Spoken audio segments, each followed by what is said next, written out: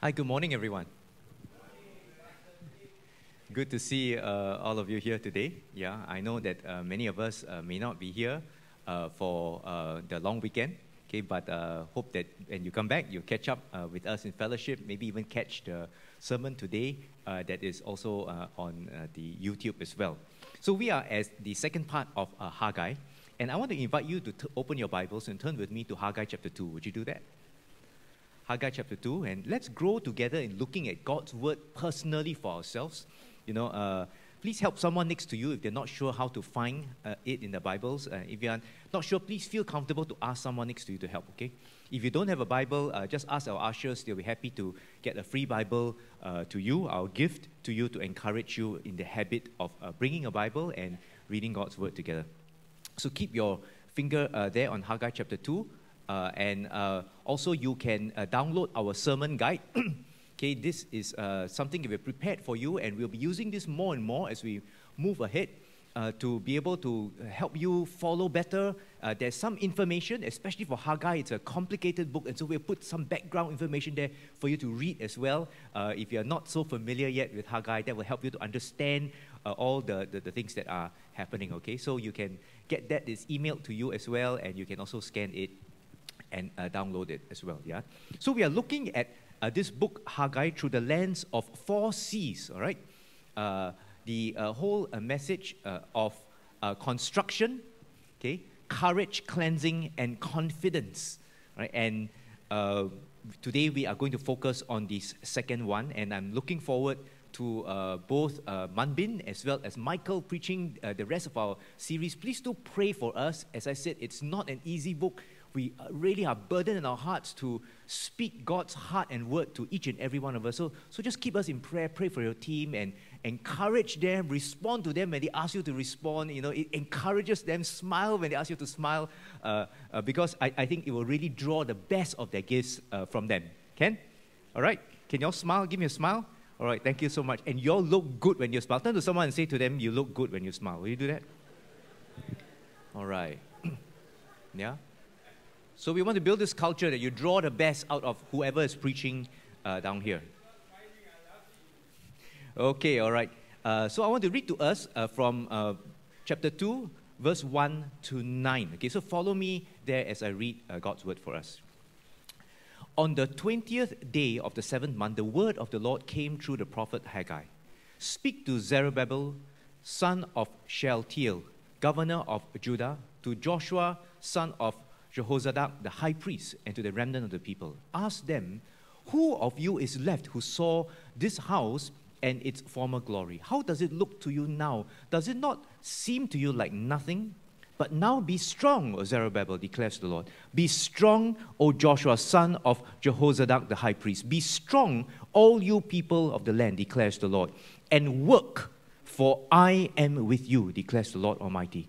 This is what I covenanted with you when you came out of Egypt, and my spirit remains among you. Do not fear. This is what the Lord Almighty says In a little while, I will once more shake the heavens and the earth, the sea and the dry land. I will shake all nations, and the desired of all nations will come, and I will fill this house with glory, says the Lord Almighty. The silver is mine the goal is mine, declares the Lord. The glory of this present house will be greater than the glory of the former house, says the Lord Almighty. And in this place I will grant peace, declares the Lord Almighty. So last week we looked at the clarion call of construction, okay, and to believe God for that revival. Uh, to respond to God's word when He, he calls not just to uh, for Haggai's temple, but our own church, New Life Baptist Church, to build her up to greater health and strength. And as I come in as your pastor, that's always my prayer for you. I hope that is your prayer as well. Amen. For the church to become stronger and healthier. The next two weeks, you know, we are looking at the ingredients uh, that are stated uh, over there. Uh, but today, we want to look at the first essential ingredient we need in order to build up God's house, and that is of courage. You know, we when we start with uh, uh, something, when we start on something new, it's usually exciting for the first time. You know, when you do something new, often at time we find it adventure, you know. But if we try it and then it fails, and then we try it a second time or a third time and it fails again, Then it, gets, it gets, becomes increasingly difficult, isn't it? In fact, it becomes painful. I know someone who started out on a, on a relationship. When it didn't work out, he was brokenhearted. You know, and he could not sleep well. He went to depression. He went to fear. He did not want to try relationships again for a long time. You know, I, I know someone who went into a, a startup business. You know, it was exciting, uh, but it, it did not work out. And when it did not work out, she was so despondent after that. Even though she went into a corporate job later, she just didn't seem the same again, you know. She lacked that fire and joy even in her work, always seeming like resigned that, wow, this is just my fate. You know, when we've gone through things that have broken us, often that past baggage pulls us down. The past can even hurt us. And at such times, more than ever before, we need to find a way to move ahead positively. We need to be able to, to journey with the Lord and, and, and move ahead in a, a good way. And perhaps some of us today are at that kind of a crossroads or juncture points where we are brokenhearted, where perhaps we have been burned by something that has happened, a work, a relationship, or something like that.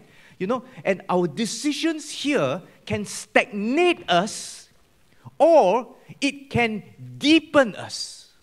And we have to make a choice to move in new trajectories, and the difference is courage. This second chapter of Haggai looks at the corporate event of building the temple, but it would have also required every individual Israelite present that day, and I'll show you that in just a moment, okay, to have courage. Courage to step out of the comfort zones, courage to believe God that He would do something again. And through our message, I'll be drawing more on the individual application of courage in our lives uh, that we go through times of change. So, when is courage needed? Look with me at verse 3 in your Bibles. Keep your finger there because I'll be going through uh, our text uh, closely today. Verse 3 in your Bibles. It says this Ask them, who of you is left who saw this house in its former glory? so, the year is 520 BC. There were some older people there who had actually seen Solomon's temple built 70 years before, okay, this event. Okay, and, and in the height of its glory, that's what happened. But in the year of 586 BC, they saw the temple of Solomon burned down by the Babylonians. All the prayers that King Solomon made, all the miracles they had seen during that time regarding Solomon's temple was all gone. And I submit to you that courage is needed when you have experienced past painful failures and discouragements. Right? Courage is needed when we go through that. Look with me again at verse 3 in your Bibles. It says this How does it look to you now? Does it not seem to you like nothing? The current temple never looked worse, the temple site right now. There had been an attempt to start rebuilding it in 538 BC, but then two years after that, it stalled because of resistance, and all was left was a pile of foundations. Now, I, I, I uh, uh, referenced it a bit last week, right? Uh, have you ever driven past a, a, a, pile of foundations, you know, that uh, some uh, builder was starting to build and then had to stop for some reason and you, it's left fallow there for so long and you drive past every time you think, wow, this ugly piles of foundation, ugly piles of half built. What happened? Did, did the guy go bankrupt? Was there a, a supply chain problem? What an eyesore. I mean, you've ever seen that, right? Now imagine that kind of a pile of ugly foundations left there for 17 years. 17 years. I was just thinking that it's Isaiah. Is Isaiah here for a reason? Yeah, okay. So Isaiah was 10 years old 17 years ago, right? About there. Lah. He would have been a, a little boy. Now grow up over that years and to be a young man. That's how long it was. So you drive past that pile every day. And Isaiah keeps growing up, growing up. You know, I was talking to Danielle's family just now. Danielle, okay, all right. 17 years old, okay, was she in diapers? Uh? Can't remember, was she in diapers then? Uh?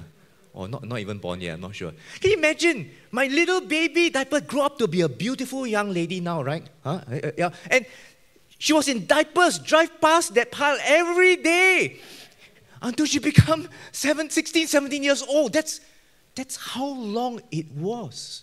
The foundations of the temple was left that long. Even new foundations at the time become old already, look worn out, right? How can this old foundation ever compared to a full HDB block or a condo? How could this second temple ever compare with Solomon's temple? I submit to you that courage is needed when you seem to have less now than you had in the past. In the past was a lot, it was good. God was walking with us, great. But now, even though you want to turn to God, everything seems so much less and poorer. Look at what happened when the foundations were laid, described by a parallel view of Ezra, okay, because Ezra and Haggai overlap telling the story from different angles, okay, and I'll show it to you on screen. And this is what it says. Many of the older priests and Levites and family heads who had seen the former temple wept aloud when they saw the foundation of this temple being laid, while many others shouted for joy. No one could distinguish the sounds between the shouts of joy from the sounds of weeping because the people made so much noise and the sound was heard far away. Those who were new said, Wow, praise the Lord. Those who were old said, Oh, I'm so sad. This is a pale shadow. In applications for us, I wonder if some of us have gone through times where you had better times in the good old days. And now, even what you have seems like a pale shadow. You know, a colleague in school once shared uh, where I worked in. He said, uh, I used to work in a corporate firm, but I was retrenched. And finally, I found a position in school teaching and on the subject of, of the business that I was in. And I find it so hard to go back to the corporate world. My interest really lies there. How I wish I could go back to that. But I'm so interested, but I've been feeling so depressed. So much time has passed. I don't know if I could ever go back there again.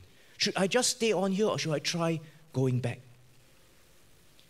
You know, a father has a child that ran away and stays away because of a very big argument that the father and child had.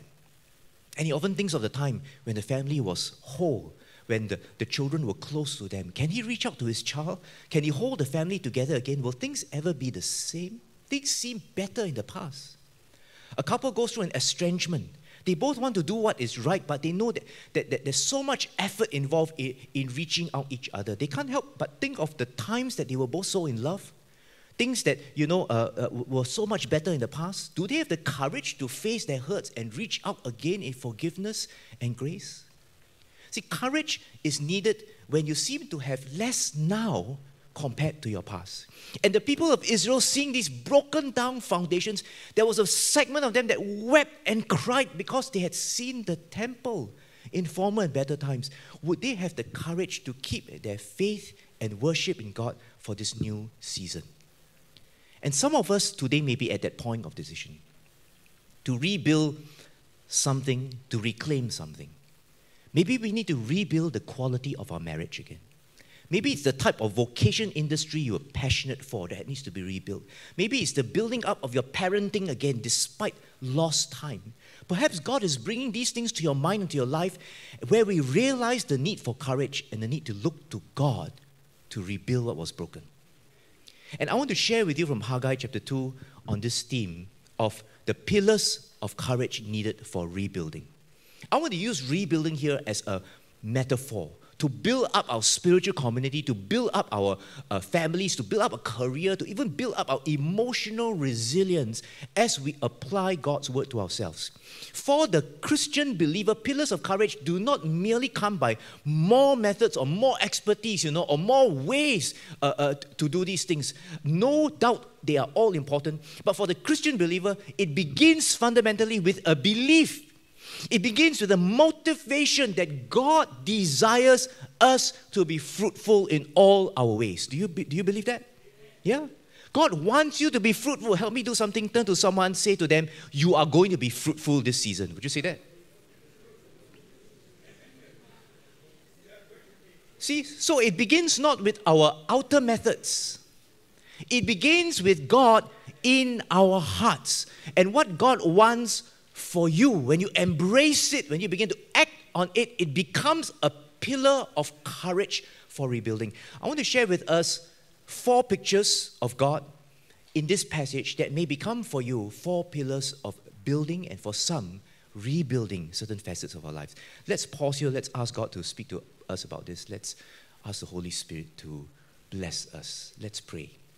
Father, I want to thank you for every brother and sister here today, and even for those who will be watching this uh, video uh, in the coming days.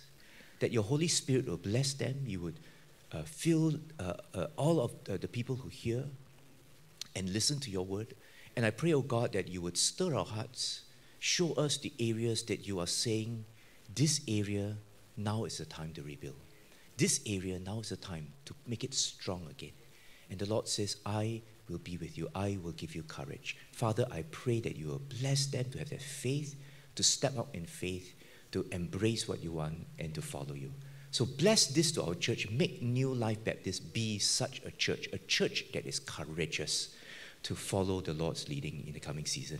We ask this in Jesus' name. Amen. Amen. So the first pillar of courage for rebuilding things in our lives is the commitment of God. The commitment of God to us. Look with me in your Bibles in verse 5. And verse 5, it says this This is what I covenanted with you when you came out of Egypt. My spirit remains among you.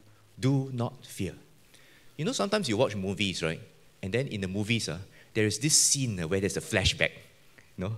And then everything becomes black and white. You remember that? Black and white, right? And the flashback scene, and then there's one tagline that says five years ago or something like that. Right? Yeah.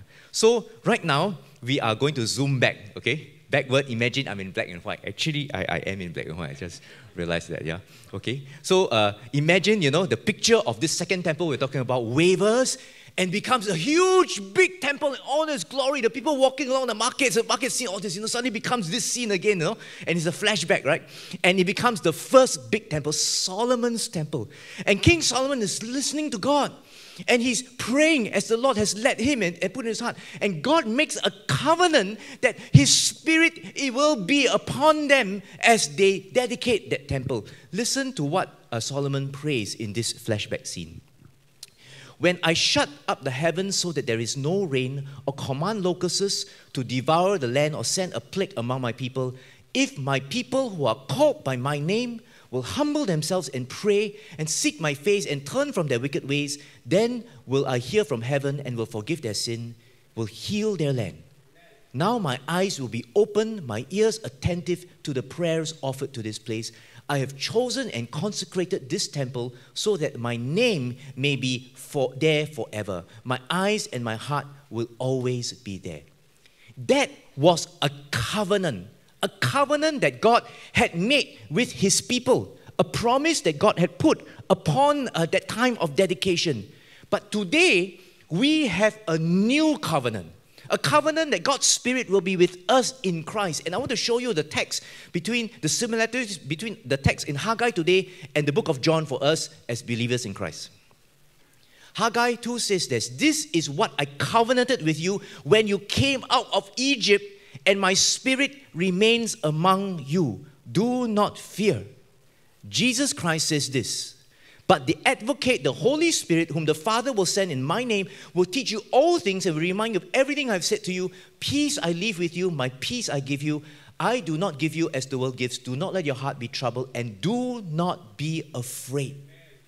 Do you see the common phrases there that I just want to highlight for us? The first common phrase is, My spirit is with you. Do you see that? Yes? There is no greater blessing when God says that my spirit is with you. The spirit is God's key to opening up many other things in our lives. In fact, Jesus says, as much as I love you guys, I long to always be here with you in fellowship. I would it's better that I go away. It's better that I leave you because only then the Holy Spirit will come to you. And the second phrase that is repeated there in both verses, do you see that? What's the second phrase? What does it say? Say it aloud. Come on. One, two, three. Do not be afraid. The problem with man is that he fears all the time.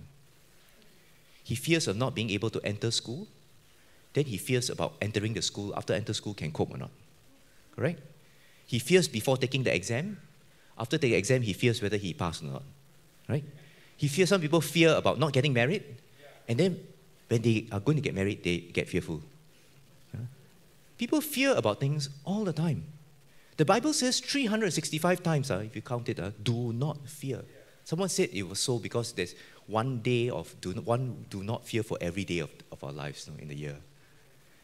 If you're at a crossroad or juncture point where you need courage today, the first pillar of courage is the commitment of God to you. His Holy Spirit is in you.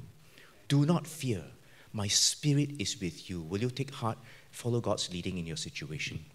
The second pillar of courage for rebuilding things in our lives is the sovereignty of God. The sovereignty of God. Look with me in your Bibles at verse 6 of Haggai chapter 2. Chapter 2, verse 6. This is what the Lord Almighty says In a little while, I will once more shake the heavens and the earth, the sea, and the dry land. I will shake all the nations, and the desire of all nations will come, and I will fill this house with glory, says the Lord Almighty. you know, for all peoples at that time, and even today, I believe so, the heavens are something that provide a covering for all of us. All right? The earth is really a foundation, you know, uh, of life okay, that we live upon. The sea is what provides water for us, right, to, to, to uh, uh, stay alive, you know.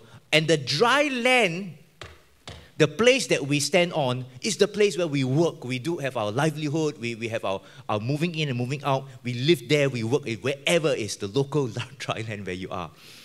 And God's people in Israel would have felt that all these things, all these things had worked against them. At that point of time, they had been exiles in Babylon. They would be so for 70 years before returning uh, uh, in 586 BC. And then the nations had come against them. The temple had been destroyed. The gold and treasures had been looted. God's people would have felt that all these things would have worked against them. Their land was gone. They were taken, it was taken away from them. The temple, their livelihood, everything was destroyed. The waters of Jordan were far away where they used to draw the waters. And you remember what the psalmist says? By the rivers of Babylon. Another river, you know. I would weep and remember Jerusalem. How could I ever forget Jerusalem? They were under the sky and stars of a foreign land, not their own land anymore. It would seem actually that, that heaven and earth and the sea and the land all conspired against them during this time. And similarly, for some of us today, you know, we are in situations where all circumstances around seem to go wrong at one time. They conspire against us, disadvantage us. Some years back, when we had a bad financial crisis, I reached out to my friend who was in the financial industry then to ask if she was affected and whether she's okay. And she wrote me a very moving letter and I thought I'll read just an excerpt uh, of it, uh, what she wrote. She wrote this Pastor Philip, I am thankful my husband has not yet been retrenched, but our careers are definitely affected. And so are our savings and investments that we have so painstakingly put aside for our retirement and financial independence. It's really a very humbling experience. And my friend writes this uh, This is a season that God turns me back to Him. God presented the best retirement plan for us, one that guarantees a lifetime of wealth and happiness in Job chapter 36, verse 11, which says, If they obey and serve him, they shall spend their days in prosperity, their years in pleasures. Yet very few brave souls dare to take it up. The requirements are simple just obey and serve. But why do I find it so difficult? Friends, I wonder if today you are in a situation where circumstances all seem to work against you and that you have lost that stability, the covering, and even the routine for life. What is the parallel today of heaven and earth and sea and dry land for you that provides that stability for livelihood? Is it your job? Is it your house and place to stay? Is it your retirement savings? And he, have some of these things, have some, some of these things been wrecked because of something that happened to disadvantage you. Verse 6 says this This is what the Lord Almighty says In a little while, I will once more shake the heavens and the earth, the sea and the dry land. You see, verse 6, God is reminding his people even if all these things conspire against you, I am the one that can shake and change these things. I'm the one that can shake the financial world, the, the, the, the land where you stand on, the economic situation. I'm the one that can shake it because I am in charge of these things. The name that God uses for himself when he says, Because I am the Lord Almighty in Hebrew, actually is this word, the Lord of hosts. That's the name. It's a very distinct and specific name. The host here applies to an army going for war conscription and mastering of soldiers. God is the one that conscripts the army. God is the one that masters the, the army and soldiers to shake the nations. And in verses 6 through 9, God names himself as the Lord of hosts to his people five times in four verses. That's more than the frequency of one time per verse, okay? Five times in four verses. And that tells you what's on God's heart, isn't it? That God is doubly, triply, quadruply emphasizing his sovereign authority over all things. Do you trust the Lord of hosts in your life today?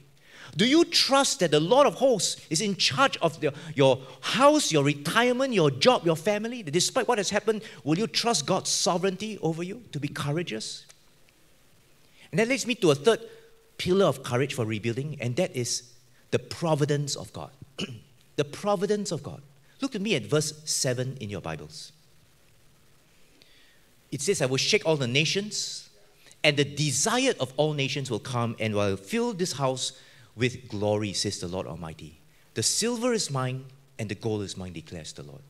You see, the sovereign Lord had intervened to shake the socio political economic frames of the world, but he didn't do it just because he's a sovereign God, just for sovereignty's sake, to show that he's God. He did it to provide for his people's needs.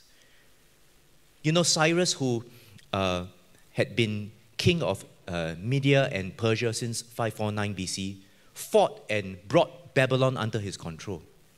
And the following year, he made an edict that allowed all peoples, including the Jews, to return to their native lands. And this is recorded even in secular historical uh, uh, documents, you know, uh, the uh, Nabonidus uh, Chronicle, the Cyrus Cylinder, all these things recorded. And verse 7 of Haggai 2 describes the desire of all nations will come back to God's house with glory. Bible commentators here refer, uh, say that it referred to the gold, the silver, the monies that finally came back. It was restored to the temple of God. And indeed, this did happen as God determined. Ezra, a parallel recording uh, of uh, that, that, era, uh, writes this. However, in the first year of Cyrus, king of Babylon, uh, king of Cyrus issued a, a decree to uh, rebuild the house of God, and he even removed from uh, the temple of Babylon the gold and silver articles, the house of God, which Nebuchadnezzar had taken from the temple in Jerusalem and brought to the temple in Babylon. Then King Cyrus gave them to a man named Sheshbazzar, whom he had appointed governor, and he told him, Take these articles and go and deposit them in the temple of Jerusalem and rebuild the house of God on its site. So, friends, you can see even in history, with superpowers, you know, shaking and fighting against each other, the silver and gold belonged to the Lord, and God restored it and gave it specifically for the rebuilding of the temple if God's people will obey what God had called them to do. Friends, when we want to obey what God wants us to do, the, he- the gold and the silver that the Lord gives comes to us to provide what we need in order to fulfill God's purposes.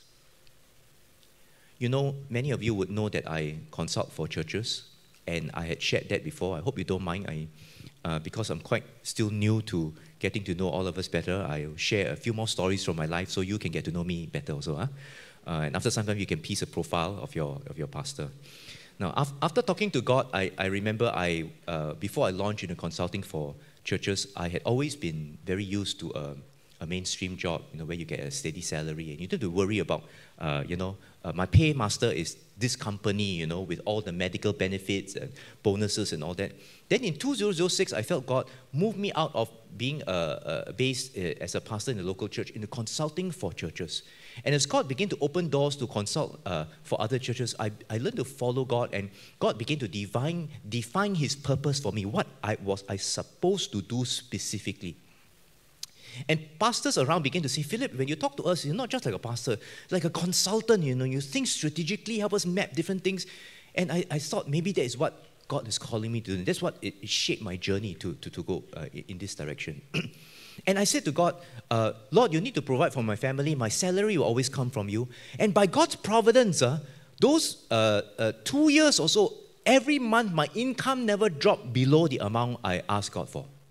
Serious, never. You know, I, I, I saw all, all the every month when I, I, I put total all that came, it always was above the amount that I said, God, I need this for my family livelihood. You know, I just never knew where it was going to come from. You know, if you ask me, uh, Philip, uh, your this month uh, and next month, how to pay the how uh, where is it coming from? I say I don't know. I go and ask God. You know, God, how? Uh, next month, uh, where, where is it all going to come from? you know, and, and I asked God. I remember those days when near Christmas time, someone would send me a love gift, and that was my bonus. You know, we didn't get bonus, right? Nothing, right? So bonus, wow, it come. I just had to learn to stop worrying so much about the next month and focus on God's calling. And for some of us today, that might be the situation. God has called us to something. We are worried about many things. It might not be just money, it might be many other situations. You know, and, and you just got to learn to focus not so much on those things, to do what you need to do, but focus on what God has called you to. And God provides. Friends, our Lord Jesus Christ said uh, these words uh, to us. Do you all see it on screen? Huh? Let's read it out loud together, okay? One, two, three. The pagans run after all these things, and your heavenly Father knows that you need them. but seek first his kingdom and his righteousness, and all these things will be given to you as well. God is not God just for sovereignty's sake. He wants to provide for you as you obey Him. That's why He didn't reveal Himself only as God.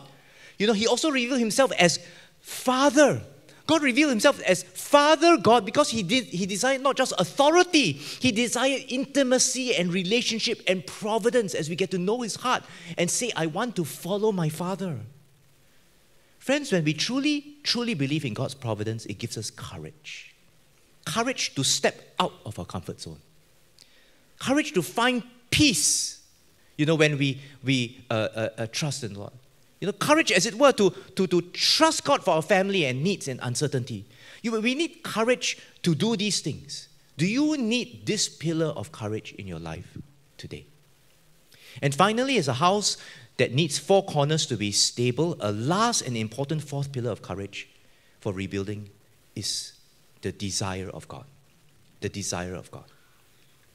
Let me put up Haggai chapter 2, verse 9 on screen for us because there's a slight difference amongst Bible translations uh, due to the complex Hebrew language of this phrase. But for our purposes, I'm going to put up the ESV, okay?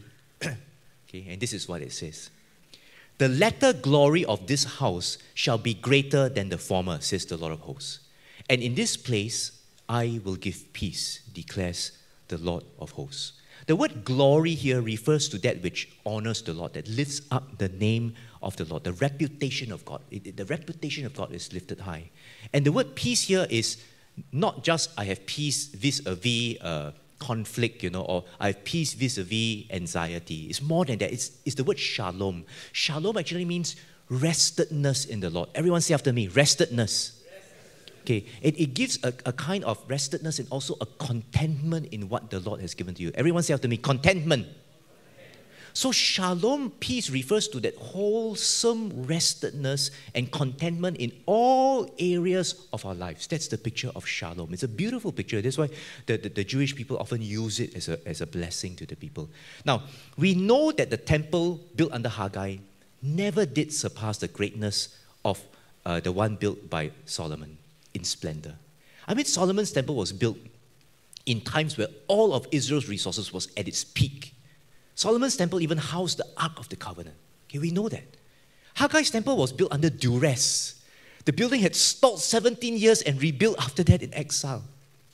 But despite being smaller, poorer, Haggai's temple, we call it the second temple, subsequently generated income and become the, the, the center of Jewish identity here for generations to come. It, in fact, drew Jews from far distant land all over uh, towards that place as a center of worship. 500 years later, this second temple was the same temple that Jesus Christ, the Son of God Himself, came and stepped in and worshiped within. You see, it was not greater in splendor, but it was greater in glory. The presence of God its influence to other lands. Finally, the visit of Jesus Christ, the Son of God Himself, that brought the peace of the gospel in impacting people. The glory and the peace of this second temple was indeed greater than the first. Christian blogger James Jackson shared a very interesting insight drawn from Charles Spurgeon, the great 18th century uh, preacher evangelist, on Haggai chapter 2. And he asks this question why was Haggai's temple not built with greater splendor as Solomon's temple was? He argued they had the heads of the Jewish houses supporting it. Zerubbabel, Haggai, Ezra were all that. They had King Darius of Cyrus and Babylon at that time uh, conquered the lands, blessing it. The treasuries of all the nations were returned to it. It possibly seemed that money was no object, right? There seemed to be little bureaucratic red tape. They had all the permits they needed to build a huge, magnificent temple. Why didn't they? And he shares this. My answer is God didn't allow it.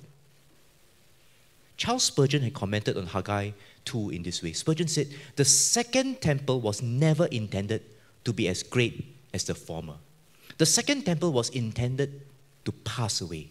It was just interim for God to do His will, but finally to bring Jesus Christ into that temple to bring Jesus Christ into the picture. The glory in Haggai chapter 2, verse 9 was not just gold or silver, but rather the work of God in reaching the Jews in other nations, and finally the presence of the work of Jesus Christ Himself that birthed the gospel for all nations.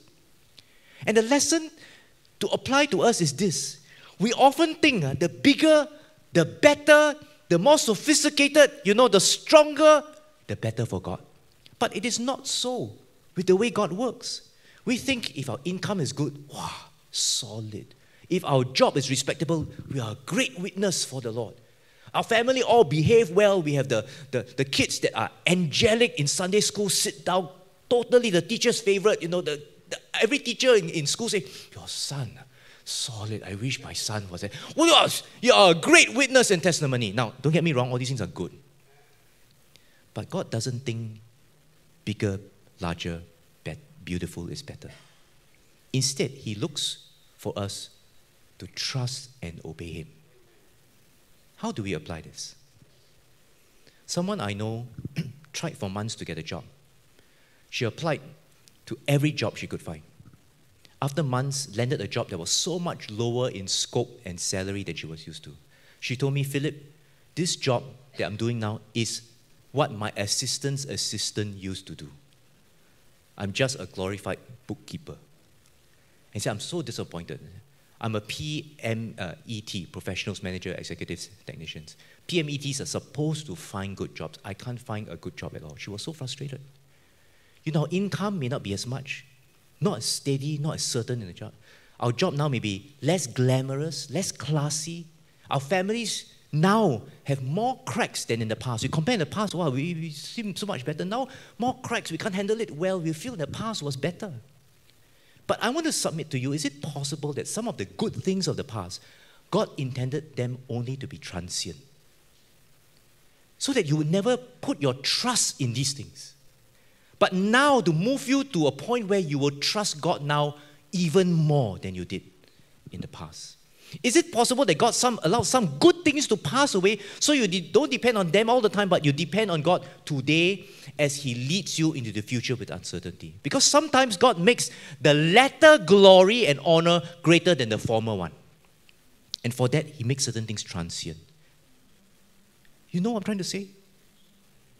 Is it possible that the things that were good in the past, you ask, how come it didn't stay that way? And God would say, I never intended for it that way. I intended for it to be a stepping stone. So that today, all the more, because you don't have as much in the past, it's more cracked than it was in the past. It's not as good as in the past. But you will give your heart and your eyes upon the Lord. And because you will not put your trust in any of these things, but only in the Lord, I will do greater things in your life than you could ever imagine compared to your past. When God leads and calls you, when you trust and obey, I believe that He will fill you with His presence. He will grow you into that shalom peace. And that is my prayer for you. As we grow older, how many of you here feel old already? Uh? Honestly, can I see your hands? Okay, I also join you. I feel old. Okay, my looking young is a spiritual gift. Okay, it's, it's just a gift. It's not. It's not true. Okay, and and you know, as you grow older, you've gone through the hard knocks of life. And some of you, when you're growing up, you say, well, when I was walking the Lord, then oh, things was easier. Children were easier. Marriage was easier. Now there are more cracks, there are more holes, there are more gaps. But I want to say to you, as you grow older and you depend upon the Lord, you will reflect and you will say that God will do a new and marvelous work. you will say what God did in these later years of my life exceeded the greatness of His work in all these past years. That is my prayer for you. Amen. That that will be something that we will grow together. This is God's desire for you. This is God's desire for you. And that is why it's a pillar of courage.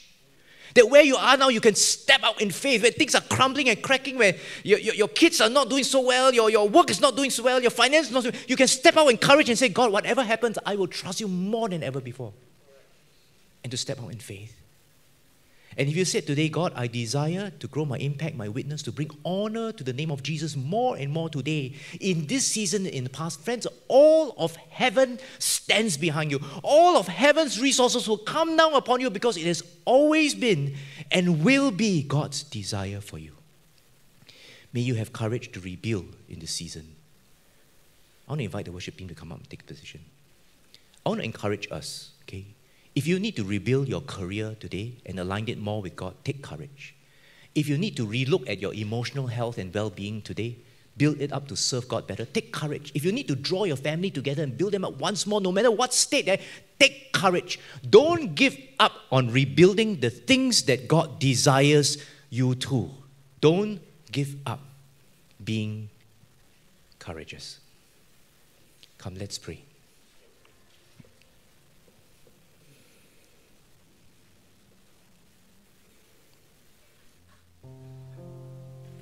I wonder what, God may be speaking to you today. As we talk about things that are broken and that you need the courage to rebuild, what are the things that God brings to mind? Some of us, you know, maybe the Holy Spirit is just prompting us to think about something. Say, oh wow, I've never thought about that for, for so long, and now it seems that this is an area that God may be highlighting to me. But for some of us, it may be something you have carried in your heart for so long and you come before the Lord in tears, crying before the Lord. And when you hear this message and you say, Oh God, this is an area of my life I've been praying for so long. I need a breakthrough. But whatever it is, I want to remind you that Jesus Christ is what makes the difference. That in these seasons, even when the, the house that you have, and metaphorically again, seems so much more in shambles than in the past. A pale shadow based compared to the glory of houses in the earlier years of your life. The Lord says, Would you know that I allow this so that your eyes will be upon me? That you will trust and you obey. And God says, Will you be courageous? I am with you. Do the work. I am with you. Do not be afraid. Come, let's put our things down. Let's stand to our feet. I just let the worship team, the Thaddeus, to just lead us to respond to the Lord.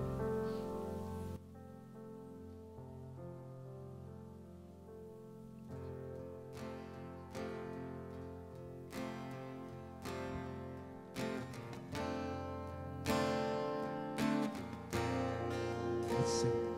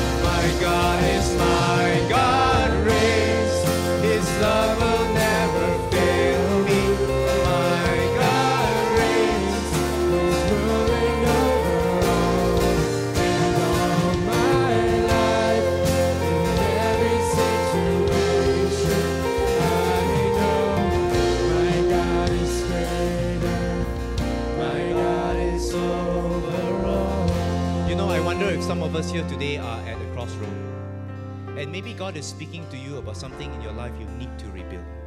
Maybe it's a broken relationship. Maybe it's a strained family. Maybe for us, it's a career that God wants us to rebuild. And God really desires your fruitfulness. He says, don't give up. For some of us, you know, uh, we need to trust God for His sovereignty. Maybe we're facing a very complex and difficult situation. And God says, I want to give you faith, faith to believe in my sovereignty, that I will shake the heavens and the earth to provide for you what you need to obey me and walk in my path. And you're saying, God, I, I, I need that. For some of us, we are saying, I need the providence of God. The providence of God comes. You know, I want to give a, a special invitation today. I know we don't often do this, but I want to invite you if you feel God pressing on your heart today, stirring your heart, that could really be the Holy Spirit speaking to you. And you know God loves you. He he he desires such things for you. The desire of God is upon you. And I want to pray that that desire of his will just burn into your heart today and give you courage. But you know, courage is not something that we should just say, God, sitting down or just standing in back and say, God, I just want this. I want to encourage you to act out your courage today. Say, God, I want this courage. Courage maybe in a relationship, courage maybe in the finances, courage maybe in a, a, a, a work situation, courage to have courage to, to, to face a difficult situation that maybe you're facing in your work or, or, or something else. Or courage even for your own life, your own sickness, your own health. Say, I need courage for God uh, in this area. I want to invite you to come on out to the front and stand here as that act of courage and say, God, this is the courage I need. You, you, you see me, I'm here, I hear your voice. I want this courage. I need this today to have this breakthrough. I want to follow you. I want to build up things that have been broken. I'm, I'm hearing your voice. So I want to give you an opportunity. If that is the cry of your heart for courage, would you come up to the front? And by coming up to the front, you're saying, God, you see me. I'm really serious about this. I really want this from you. I want it with. Want it with all my heart. So we're going to sing the chorus again, and I want to invite you to come on up. And I'm going to get, you know, some of the leaders and, and, and, and, and council people to come and pray for you if you come up. All right, would you do that? We're going to ask for the Lord's blessing today. So as I, as we sing this one more time, this chorus, God is speaking to you. You just lay hold of God's word that's stirring your heart. You don't worry about the person on the right or the left. You take courage. You come up and ask the Lord for His blessing. Let's do that. Shall we do that? My God reigns. My God reigns. Is there anyone?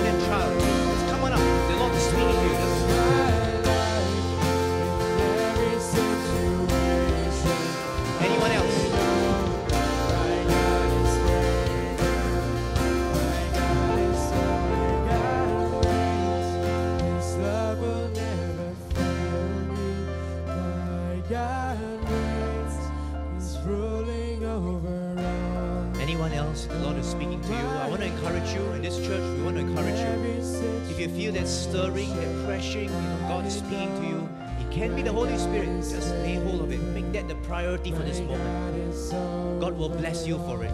Okay? God will bless you for it.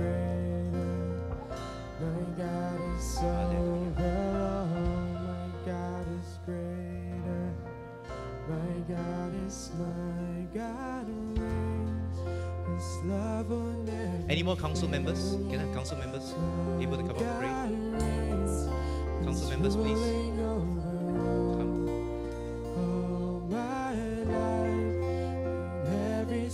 Come, Teresa. my God is greater. My God is over pray for each other.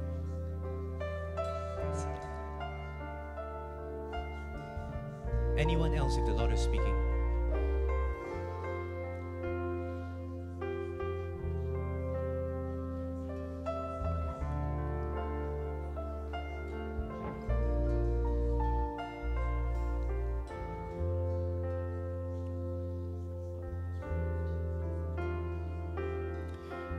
Just going to pray a blessing over all of us, and I'm going to invite us to uh, dismiss from where you are, and the ministry here can still continue. Okay, so uh, stay up front. Okay, just uh, enjoy the presence of the Lord in front. We'll keep the house lights down. Okay, even after dismissal. Come, let's lift our hands to the Lord. Father, we look to you. We just ask for your Holy Spirit to come.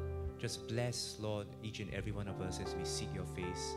May the grace of our Lord Jesus Christ, the love of God, and the fellowship of the Holy Spirit be with each and every one of us now and every day.